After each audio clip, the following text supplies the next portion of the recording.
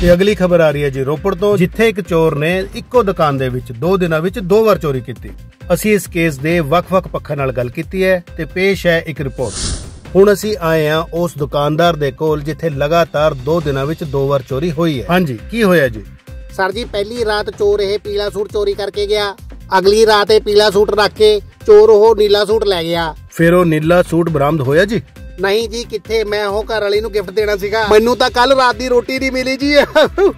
ਮੈਨੂੰ ਲੱਗਦਾ ਹੈ ਦੁਕਾਨਦਾਰ ਦਾ ਦਿਮਾਗੀ ਸੰਤੁਲਨ ਖਰਾਬ ਹੋਇਆ ਹੈ। ਹੁਣ ਅਸੀਂ ਆਏ ਹਾਂ ਉਸ ਚੋਰ ਦੇ ਕੋਲ ਜਿਨੇ ਇੱਕੋ ਦੁਕਾਨ 'ਚ ਦੋ ਵਾਰ ਚੋਰੀ ਕੀਤੀ ਹੈ। ਹਾਂ ਬਈ ਕੀ ਮਸਲਾ ਹੈ? ਸਾਹਿਬ ਜੀ ਉਹ ਤਾਂ ਮੇਰਾ ਏਰੀਆ ਨਹੀਂ ਹੈ ਜਿੱਥੇ ਮੈਂ ਚੋਰੀ ਗਿਆ। ਜਨਾਬ ਨੂੰ ਸਾਰਾ ਪਤਾ ਹੈ ਜੀ। ਜਨਾਬ ਨੂੰ ਕਿੱਦਾਂ ਪਤਾ ਓਏ ਤੁਸੀਂ ਮੇਰੀ ਗੱਲ ਸੁਣੋ ਜੀ। ਪਹਿਲੀ ਵਾਰ ਜਦੋਂ ਮੈਂ ਚੋਰੀ ਕਰਨ ਗਿਆ ਮੈਂ ਪਲਾਜੋ ਸੂਟ ਚੋਰੀ ਕਰਕੇ ਲਿਆਇਆ ਜੀ। ਘਰ ਵਾਲੀ ਨੇ ਮੈਨੂੰ ਬਹੁਤ ਕੁੱਟਿਆ ਜੀ ਫਿਰ ਦੁਬਾਰਾ ਮੈਨੂੰ ਸ਼ਰਾਰਾ ਸੂਟ ਚੋਰੀ ਕਰਨ ਲਈ ਫੇਰ ਜਾਣਾ ਪਿਆ ਜੀ। ਉਸ ਤੋਂ ਬਾਅਦ ਇਹਨਾਂ ਨੇ ਮੈਨੂੰ ਫੜ ਲਿਆ ਜੀ। ਅ, ਫਿਰ ਉਹ ਸ਼ਰਾਰਾ ਸੂਟ ਕਿੱਥੇ ਹੈ? ਉਹ ਭਰਜਾਈ ਨੂੰ ਦੇਤਾ ਜੀ। ਕਾਨੂੰਨ ਨਾਲ ਮਜ਼ਾਕ। ਉਹ ਨਹੀਂ ਜੀ ਨਹੀਂ। ਨਹੀਂ ਜੀ, ਆ, ਨਹੀਂ ਜੀ। ਇਸ ਮੁੱਦੇ ਦੀ ਹੋਰ ਜਾਣਕਾਰੀ ਲਈ ਅਸੀਂ ਡਾਕਟਰ ਅਮਰਜੀਤ ਕੋਲ ਆਏ ਹਾਂ ਜੋ ਪੰਜਾਬ ਸਰਕਾਰ ਦੇ ਆਰਥਿਕ ਸਲਾਹਕਾਰ ਨੇ। ਡਾਕਟਰ ਸਾਹਿਬ ਤੁਹਾਡਾ ਕੀ ਕਹਿਣਾ ਹੈ?